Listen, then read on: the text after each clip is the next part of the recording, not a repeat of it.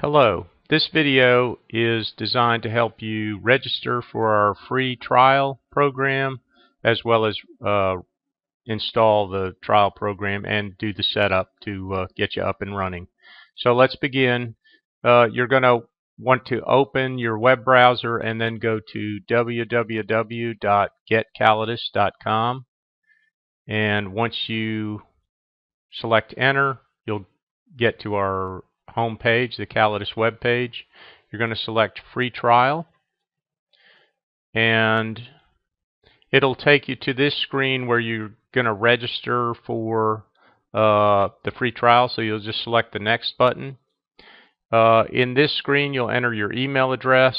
Tr please try to be accurate. If you're not accurate uh, it won't give you the opportunity to run the 30-day trial so you want to put in a valid email address uh, and if you put in an email address that you've registered before, it uh, won't work either. So it has to be a an email address where you haven't registered with us for the free trial. Enter that, and then just go through the series of screens. There's two or three or four screens here that'll request your company name, phone number, uh, address, that type of information. And once you complete that, uh, the program will send you a, a validation email that'll look just like this. You'll simply click on validate your email address and once you do that it'll send you a second email with a user code. This CAL number is your user code and it'll be valid for 30 days from the day you start uh, running the program and you can also then just click on the link to, to back to our web page which has your individual account on it now. You'll see your account uh, your company name or however you listed the account and your user code. So then once you have downloaded your user code you'll go to uh, download the program down where it says download Callidus beta release.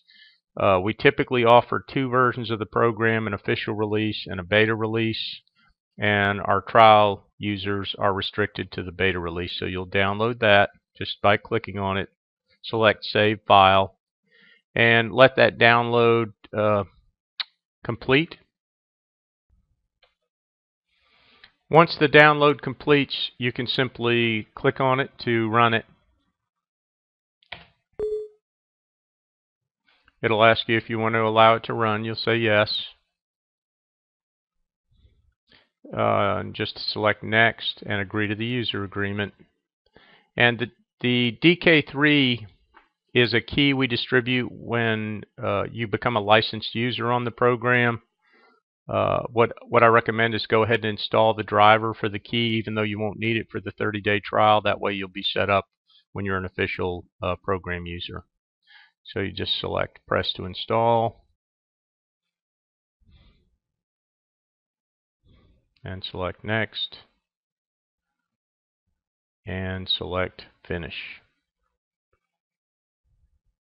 Units of measure, you're going to select square yards.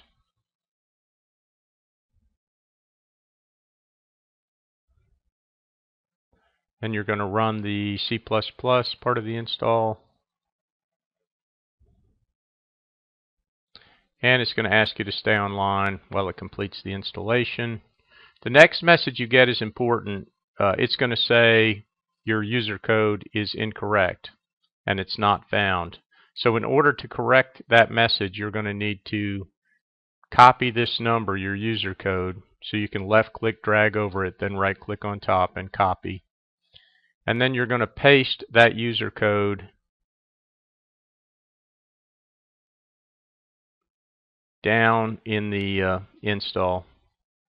So right here we're going to drag over the top of it and paste it and select continue installation and now you'll get a message that says your user code is good and the install is complete.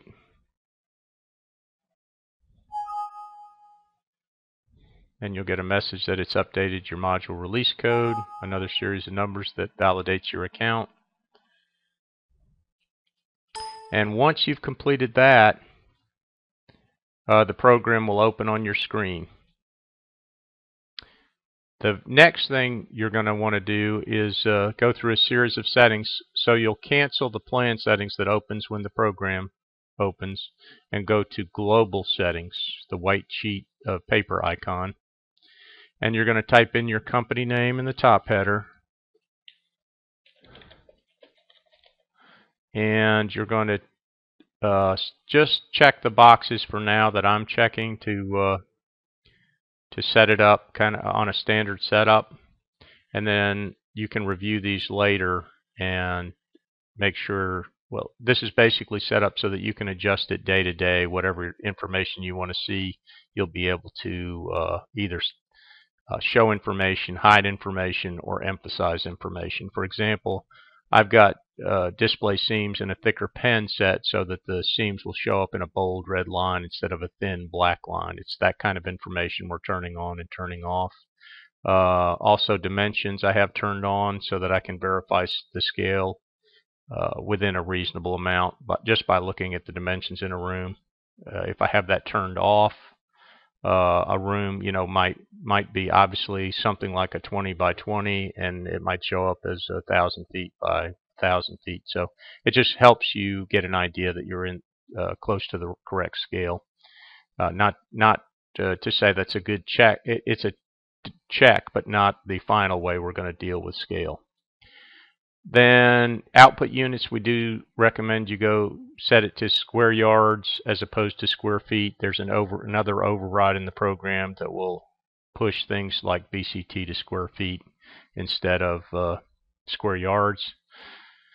And again, I would suggest you just set this up like this. Also, make sure you do select no digitizer unless you happen to be running a digitizer, in which case you need to contact us to help you get that set up. So you'll say OK to all those settings.